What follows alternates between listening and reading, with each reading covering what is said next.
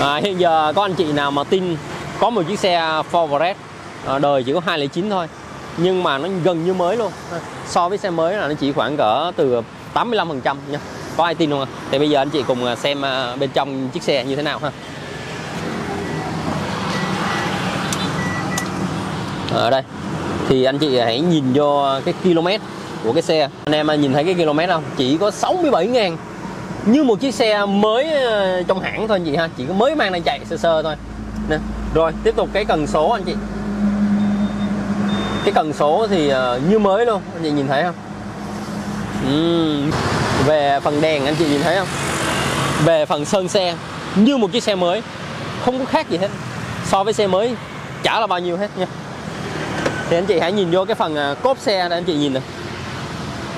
Đúng không? Để chưa? Ừ, rồi anh chị à, đi sâu vô trong luôn anh chị nhìn nè tất cả những cái chi tiết nhựa. Đây mở lớn luôn cho anh chị xem nè đúng không? Rồi à, đi vô phần à, nội thất luôn. Quá là tuyệt vời. Xe này không mua đi mua xe gì? Trời ơi. Anh chị nào mà có tiền và đang dự tính à, muốn mua xe Ford Red để về chạy dịch vụ hãy liên hệ trực tiếp à, cho bộ phận bán hàng nha theo số điện thoại 0775522 hoặc trực tiếp số điện thoại 09881554 nha, để rinh cái xe này về đi cho gia đình. Anh chị nhìn thấy không? Về cái phần à, đít xe này, như một cái à, xe mới luôn, đúng không? À. trời ơi là trời, xe gì nó mới ơi là mới luôn. Đời chỉ 209 thôi mà nó mới như thế này. Cho nên là mình có nói anh em rồi, nâng cấp lên đi, chơi xe đẹp đi không có gì mà phải ờ, ngại và phải sợ hết. Chứ đi mua mấy cái xe nát làm cái gì? Bán rồi mất công mang tiếng, bỏ dục. Đó là như vậy. Cho nên là anh em bây giờ đã chơi những cái xe này, thà bán mắc một chút xíu, nhưng đổi lại gì? Xe, toàn là xe chất. Tìm những xe cọp bán, đúng không? Xe nát mang đi sang lái đi, bỏ, đúng không? Còn xe đẹp, mang về nhà bán. Đó, mình có nói anh em rồi. Thấy, anh nhìn nhìn nè như mới luôn. Rồi là trời.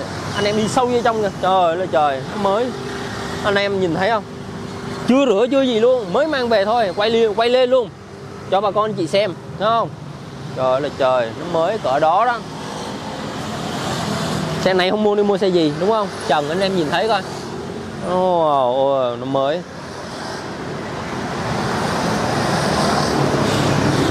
Đấy mình đưa anh em lên trên luôn. À, tuy cái vỏ này nó mòn rồi nó còn khoảng cỡ năm à, năm mấy 60 phần trăm thôi. Ừ, vỏ theo xe zin theo xe còn nguyên luôn. Ừ ồ cái máy này máy là trời cái máy zin luôn. Máy chưa nhúc nhích luôn. Anh em nhìn cái máy nè đã chưa?